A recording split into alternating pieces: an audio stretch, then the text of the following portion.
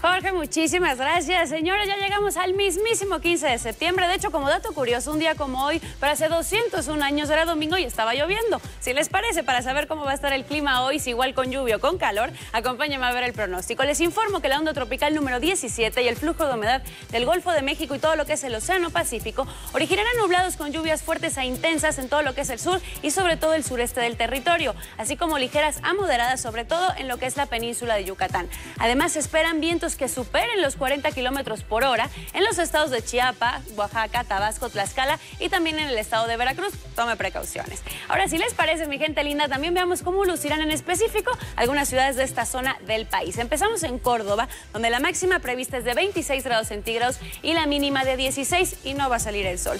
En Tasco de Alarcón Guerrero se espera una alta de 28 grados con una baja de 17. Tampoco habrá sol para estos días en la ciudad de La Plata. Para Cárdenas, Tabasco, este jueves tenemos una máxima de 31 grados centígrados que descenderá a los 22 y cielo completamente cerrado.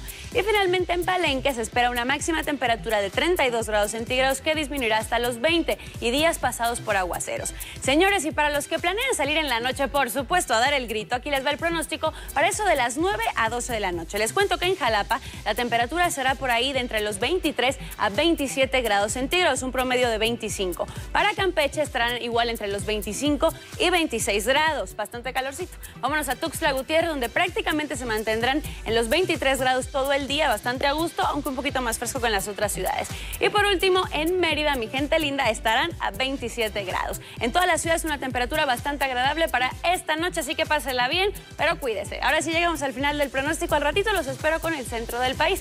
Jorge, vuelvo contigo, gracias. Qué bárbaro.